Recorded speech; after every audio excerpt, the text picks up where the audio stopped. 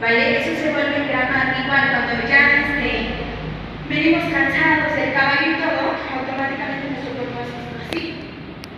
¿No? Ya estamos en un estado de relajación, ya entramos y nos dejamos caer en el caballo. Ahora, la parte vestibular me obliga, junto con la transmisión de impulsos rítmicos, a seguir. ¿Por qué? Porque ya soy consciente de mi cuerpo. Ya y digo, ah, no, ya me siento medio mal, pero no, se me hace que estoy colgada de un lado. ¿No? O no, ya mi caballo no acciona, no es que no, no le estoy dando la, la correcta función. O fácil y rápido con las riendas.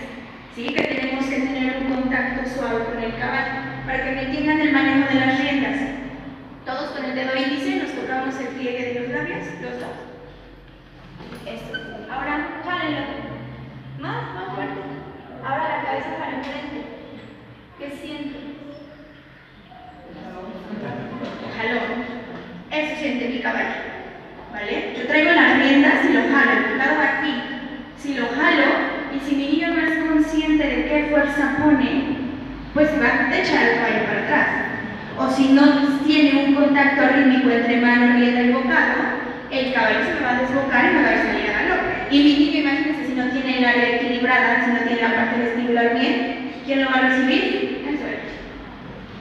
¿Sale? Entonces, por eso tratamos de hacer conscientes a los chicos en todo esto.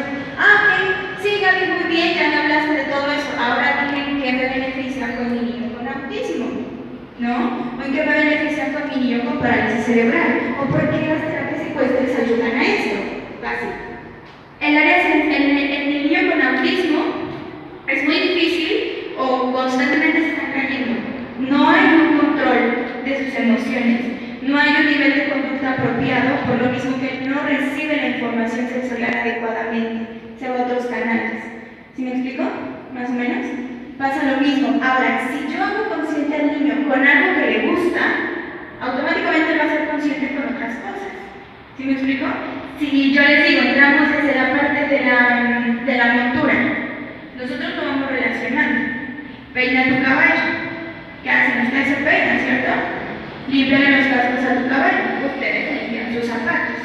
Ponle la mantilla a tu caballo. Tú te pones tu ropa. ¿Cierto? Entonces, así es como lo vamos relacionando. Ahora, en la parte de la propiocepción, ¿cómo lo podemos hacer? Vengo con mi caballo. Yo decía antes de dar verbal. Oye, tienes un árbol enfrente. Dirígeme con las riendas bien a tu caballo. ¿Me explico? Y ahora estamos así. Para allá y para acá. Y empieza a medir la distancia. Ya sé que aquí hay una mesa, entonces cuando voy para acá me abro.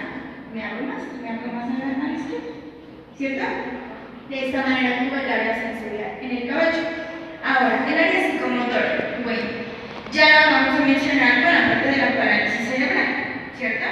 Nos ayuda. Cada montura que tenemos en nuestro caballo tiene distintos, distinta funcionalidad. Cuando nosotros vamos a pelo, directamente tenemos el contacto más directo hacia nuestro cuerpo. ¿Sí? A los chicos con autismo a mí me gusta trabajarlos con short y sin calcetas, porque reciben el estímulo más, más rápido que si lo traspasa por la bota por el pantalón. Más o menos me explico. Ahora, el área psicomotora, esta montura que está aquí es un albardón. ¿Le pasas una, dos diapositivas más? ¿Otra? ¿Otra? ¿Otra? Ay, otra. otra, otra, otra, otra. Ajá. Sí. Este, este es el albardón. ¿Vale? Lo ocupan más para salto. Ahora, el albardón, ¿ya se lo grabaron bien? ¿Sí? Ah, ahorita, ya se cerró la puerta.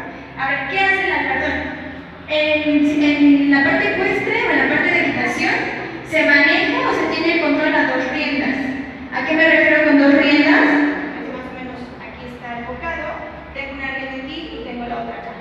Y va y empieza a haber motricidad en mis manos. ¿Cierto? ¿Por qué? Porque tengo que dirigir a mi caballo. Mi postura está recta, mi postura está recta y tengo que dirigir a mi caballo. ¿Qué hago? Movimiento escapular movimiento pélvico. Escápula, pelvis, en donde yo dirijo mi caballo, ¿cierto?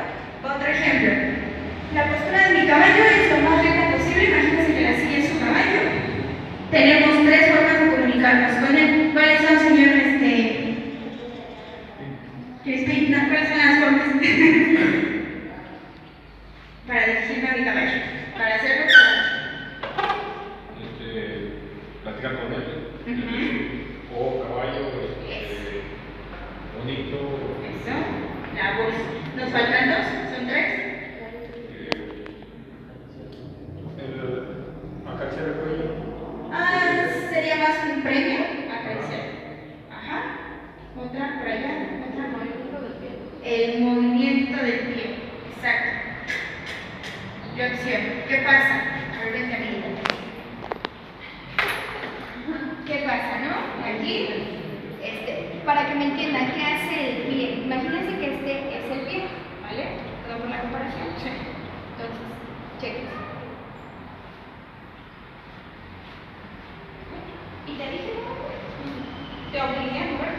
Hubo un impacto doloroso que obligó al. Tampoco es doloroso como los que le sacan la sangre, ¿no?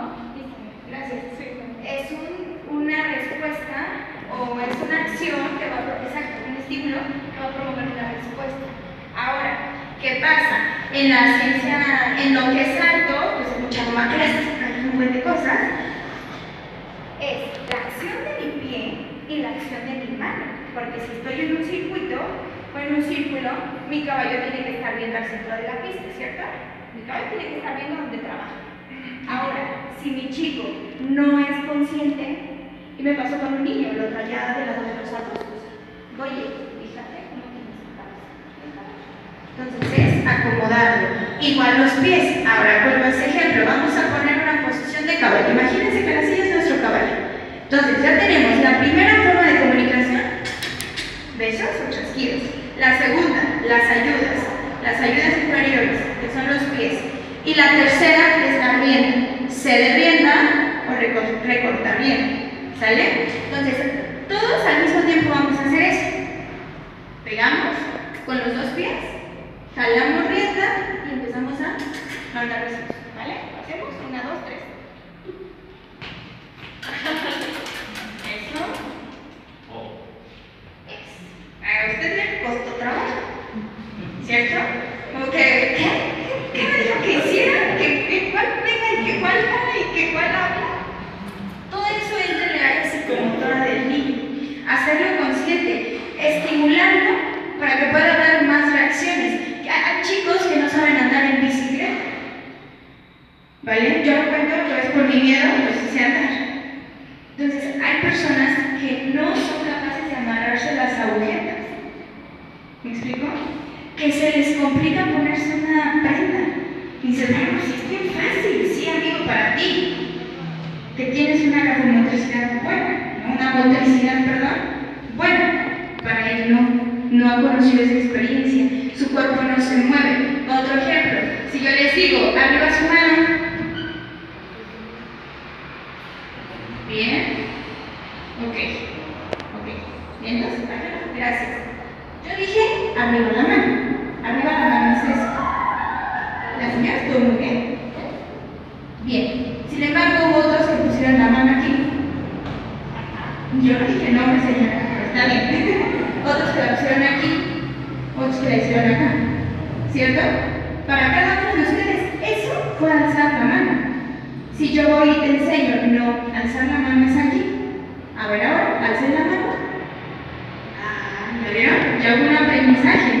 Ya alguien les enseñó cómo alzar la mano. Así es, lo mismito. ¿Vale? Ahora, cuando se da picadero, si ubican que es picadero, darle cuerda al caballo, exactamente. Esas actividades también las realizamos en el centro y nos benefician mucho para el niño. ¿Por qué? Estoy en el centro. Muchos gustos.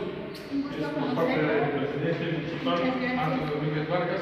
Y bueno, la inquietud es que podamos establecer una interacción más fortalecida con ellos, con ellas, para hacer una, una actividad así de ese tipo.